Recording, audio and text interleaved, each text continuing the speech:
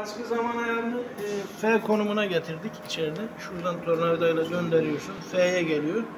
Ondan sonra iki el ile yaptı verdik. Şimdi artık kendisi çalışsın makine.